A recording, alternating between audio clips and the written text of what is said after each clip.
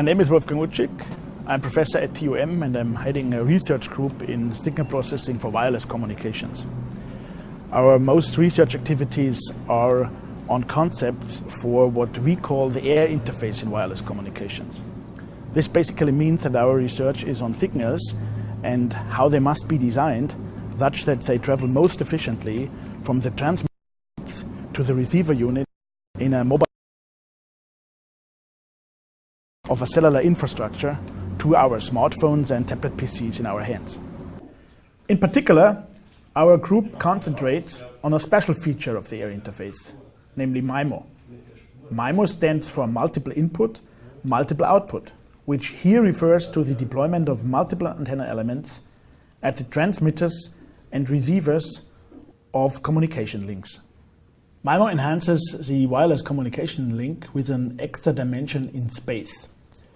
This means that the advantages and come with MIMO are very similar to the benefit that uh, we have with two ears instead of only one ear, which allows us to distinguish sounds from different directions. For the technological equivalent, the MIMO system, so to say, this means that the technique allows to exploit directivity of signals for an extra dimension or a resource in top of bandwidths for the wireless communication link. This is the reason why MIMO has become an enabling technology for the current fourth generation of mobile communication, better known under the name of LTE and LTE Advanced. For future generations of mobile communication systems, the next one is the fifth generation, we are still seeking solutions for keeping pace with the ever increasing demand for higher and higher data rates in a more and more connected world of already today and even more tomorrow. Uh, one of the most promising solutions for these challenges is massive MIMO, which is MIMO, but with a massive number of antennas, hundreds to thousands, at the transmitters. Obviously, this will change the shape of future antennas dramatically.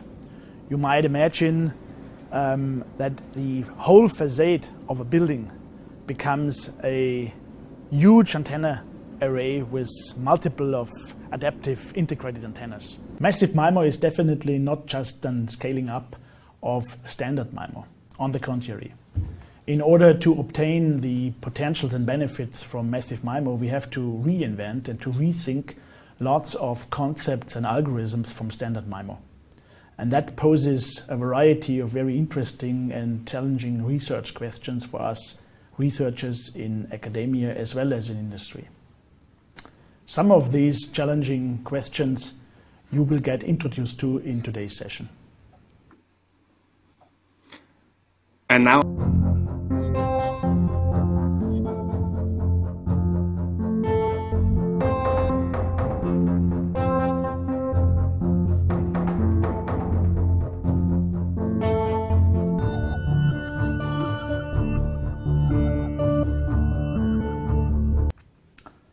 This session is about massive MIMO, which is one of the most promising solutions for the fifth generation of mobile communication networks.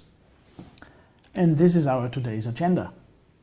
I will first talk about the wireless communication link, which suffers mainly from the attenuation of the signal strength and the interference between users.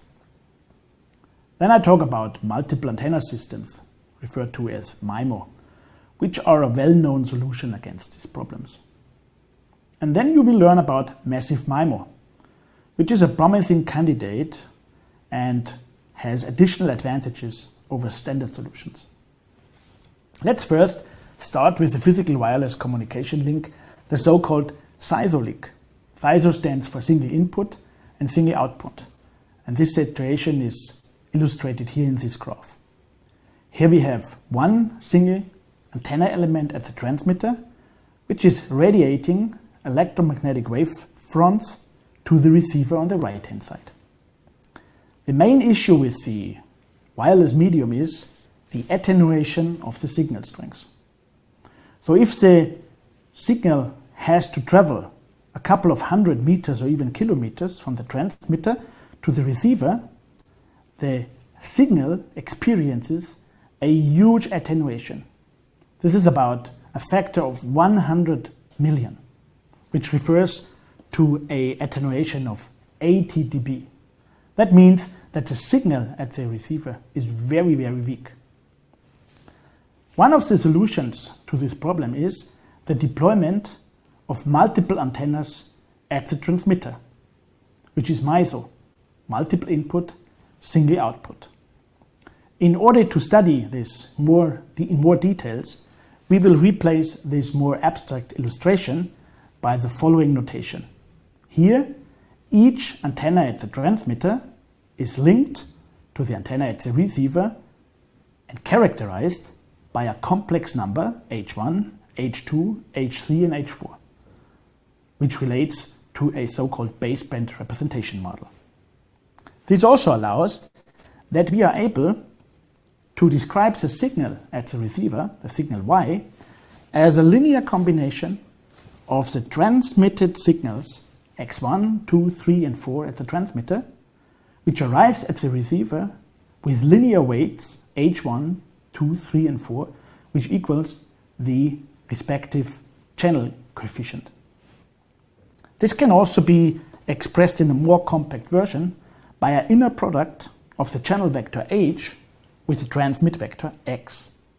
And in all these models, we have, of course, an additional noise term that refers to any kind of temporal or other kind of noise at the receivers. The question is how to design this transmit signal x1, x2, 3, and 4. If we want to transmit a dedicated signal S to the receiver on the right hand side here. And this is done by one of the most prominent solutions here in our solution by the so-called matched filter. The matched filter means that the coefficients, so the weight factors W1, 2, 3, and 4 of the weight vector are equal to the conjugate complex entries of the channel coefficient, or the channel coefficients. This is here. And this has the effect that we are able to concentrate or to focus the radiated waveforms in the direction of the receiver.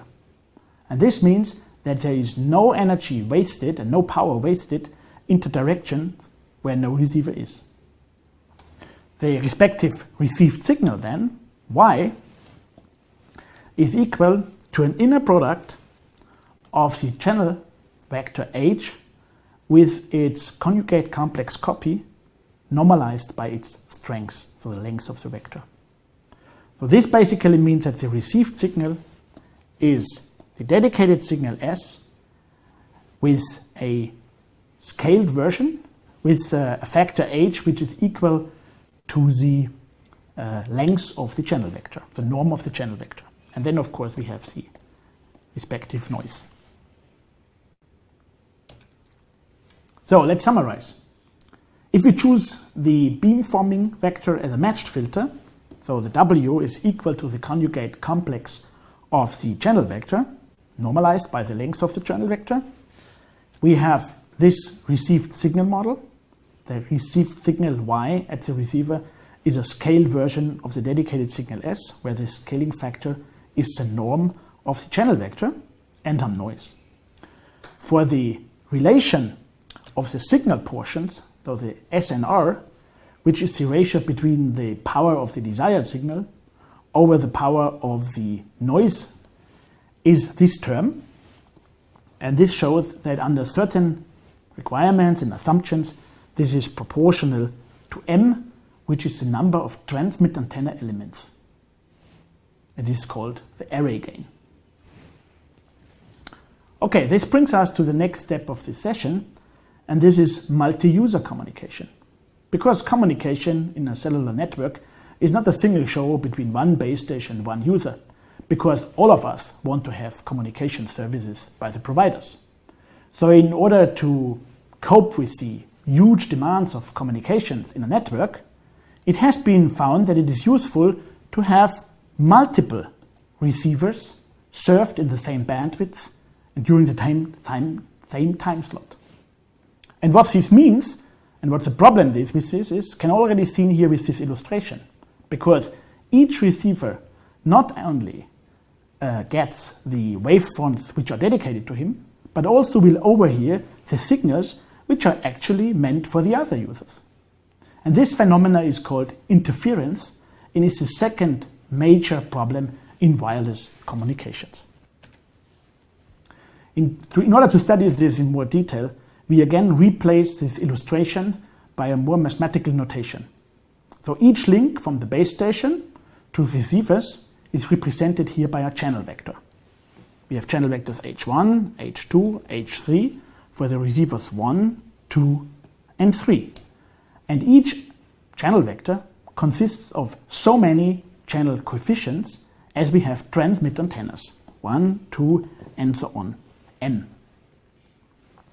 For the signal model, that means that, for example, at receiver i, so let's think this is the ith receiver, that at the receiver i, the channel yi is the inner product of the respective channel vector hi with the compound signal vector x, plus a noise term, the individual noise term at this receiver i. So, but what is the compound channel vector x? This is the linear combination of all dedicated signals to all users because we have a shared medium. All users share the same bandwidth and the same time slot. So the compound signal is a linear combination of all signals with their respective beamformer, which is a matched filter in our case. So let's summarize. The signal now at the receiver, if we plug in X in the transmission model, consists of these three terms. There's first the first one that we have already been introduced to in the single user model. This is the dedicated signal to user i times its norm of its channel vector. And then we have the noise term. These have been the terms that we already know from the single user case. But now we have these signals which come by the overhearing of the other users. And these are these ones. And you see here, this term depends on the inner product of the channel vector of the user i with the channel vectors of all the other users. So if this term does not vanish, which is typically the case, does it not vanishes, then the interference in the worst case might even be larger than the useful signal. And this obviously will corrupt the signal transmission, the information transmission, and even maybe it comes at breakdown of the communication link. So in terms of signal to noise or signal to interference and noise, this means that we have here an enhanced version of the signal noise ratio, the so-called signal to interference and noise ratio. That means that in the denominator here, we have now an extra term, which comes from the interference. And this is a major problem in multi-user communications. And one of the typical solutions is either equalization at the receivers or pre-equalization at the transmitters, which means that we would not only choose a simple version of a matched filter, but we would use a pre-coding or pre-equalization at the transmitters that take into account this phenomena. But that's a very complicated thing. And there is another solution. And this is the topic of today. This is massive MIMO. So first of all, what's massive MIMO? It's MIMO, multiple input, multiple output. So multiple antennas at the transmitter and multiple antennas at the receiver side. But in this case here, the number of antennas is huge. We talk about hundreds to thousands at the transmitter. What does this mean? First of all, we get the typical advantage from multi-user elements at the transmitter, and that is the array gain. Because we learned that the SNR is proportional, under certain requirements, proportional to the number of antenna elements. So if we have a huge number of antenna elements, we have a very large SNR. That's good news. But we have more. Because massive MIMO allows what we call asymptotic orthogonality under certain requirements. It happens that the inner product of two different channel vectors become zero. What this means, let me explain two slides ago. That is here. Because here we see this is the major term that accounts for the interference. And we just learned now that in massive MIMO, this term tends to zero. And that means that the SNR again becomes an SNR. We get rid of the interference. And that means also we just employed or deployed simple matched filter solution for the beamformers, not taking into account the interference situation, we get rid of the interference. Means we can afford robust and simple signal processing method, which is the matched filter solution. Yeah, this has been a first introduction into the first steps of massive MIMO. And now comes the task of the week.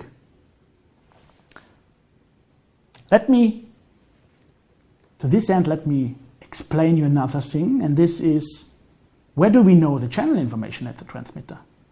Because I just explained you that a very appropriate solution is to take the matched filter solution. That means that the weight factors at the transmitter are equal to the conjugate complex values of the channel coefficients. But where does the transmitter know these channel coefficients? And here the uplink training has been proposed as a solution for massive MIMO.